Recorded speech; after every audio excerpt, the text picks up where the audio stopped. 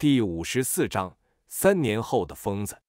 时间一直在流逝，就算完全掌控时间本源法则的伟大存在，或许能短时间内时间暂停乃至时间倒退。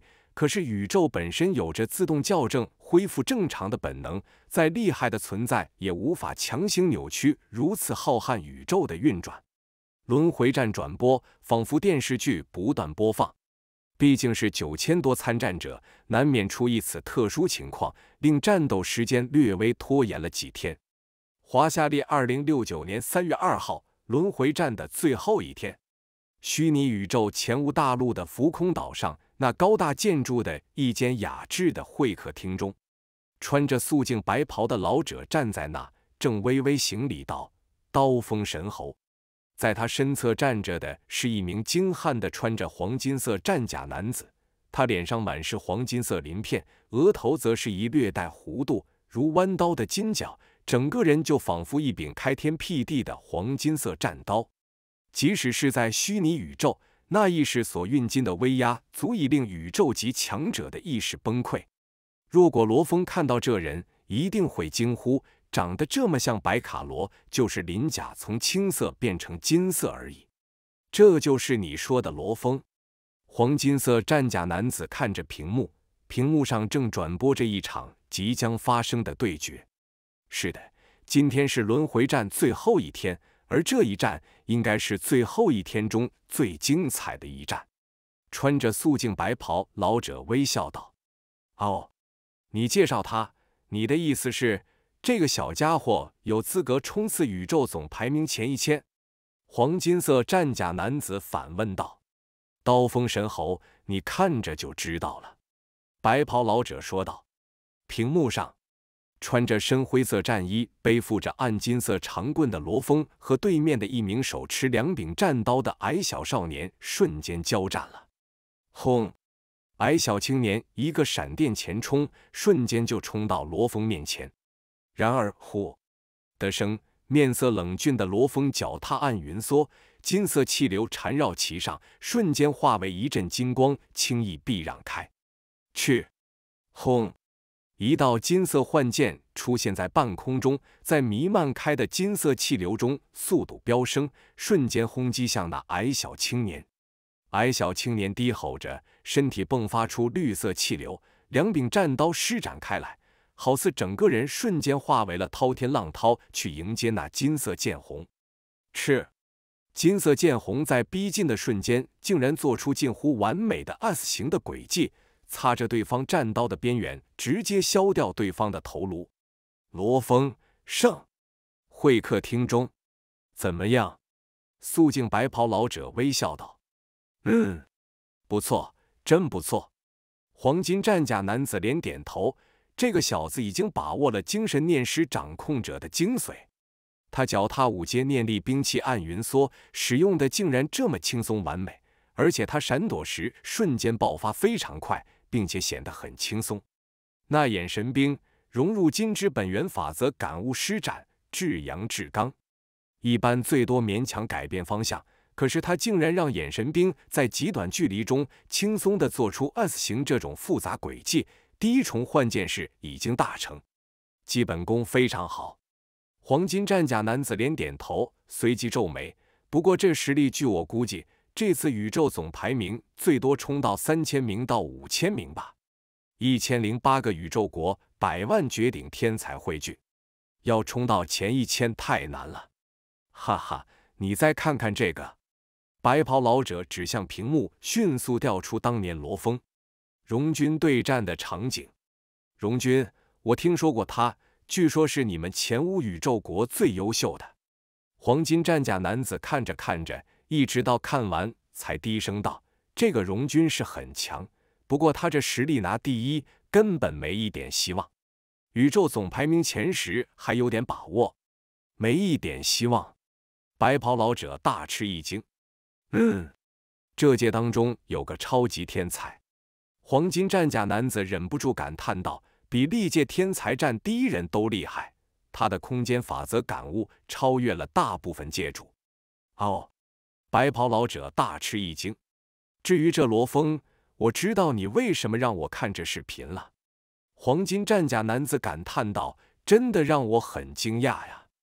他跟荣军比的时候，飞行闪躲明显很吃力，控制也很粗糙，纯粹是靠念力强行控制方向。而刚才看到的轮回战直播，他控制暗云梭已经做得非常完美，眼神兵的操控上进步也很惊人。他在法则感悟上应该提高不少。对了。”你们前五宇宙国的内部选拔轮回战持续多久的？黄金战甲男子问道。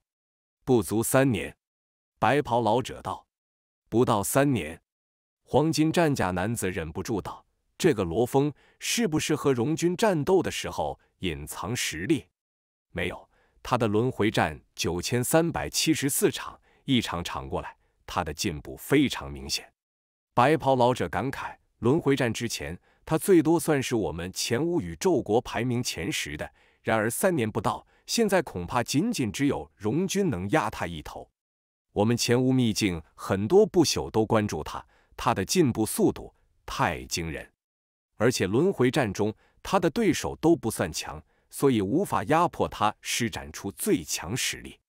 我甚至于怀疑他的实力比现在表现出的还要强些。”白袍老者说道。而且现在距离巅峰总对决还有比较长时间，他还能继续进步。嗯，黄金战甲男子咧嘴一笑，继续进步的话，一千零八个宇宙国诸多天才巅峰对决的时候，或许有机会冲进前一千，不过还是很难啊。当前无秘境和虚拟宇宙公司的两位不朽存在议论着罗峰的时候，罗峰则是来到了编号零零零零幺号斗武场的准备厅。准备厅中，他就是罗峰。这个罗峰进步怎么那么快？秘境中的老师都说，罗峰现在能排在我们宇宙国天才中的第二。当穿着深灰色战衣的黑色短发青年出现在准备厅时，顿时引起了一片低声议论。这轮回战的近三年时间中，罗峰以其惊人的进步速度，吸引了很多强者的目光。疯子！一道浑厚有力声音响起，罗峰转头看去，那是仿佛一层楼高的野人荣军。那野人依旧头发乱糟糟赤，裸着大脚丫。野人，罗峰也喊道：“哈哈哈！”野人青年大笑起来，罗峰脸上也浮现一丝笑意。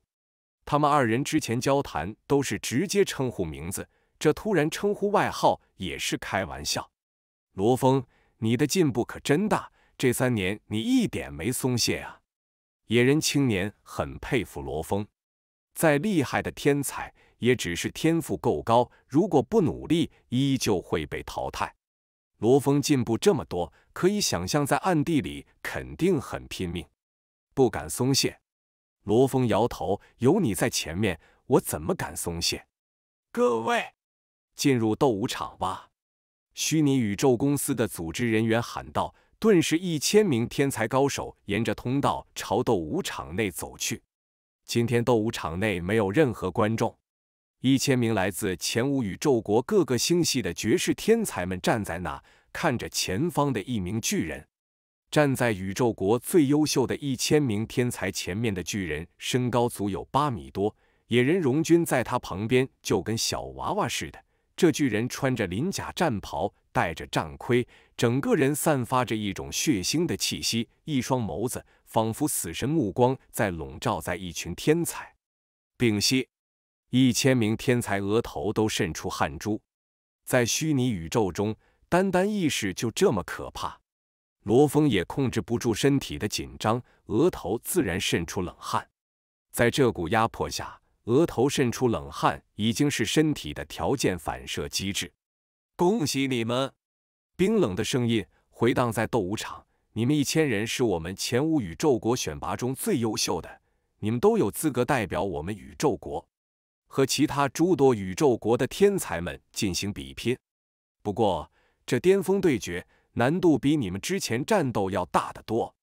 一千零八个宇宙国，其中有的宇宙国比我们前五宇宙国疆域还要辽阔，星系要多得多。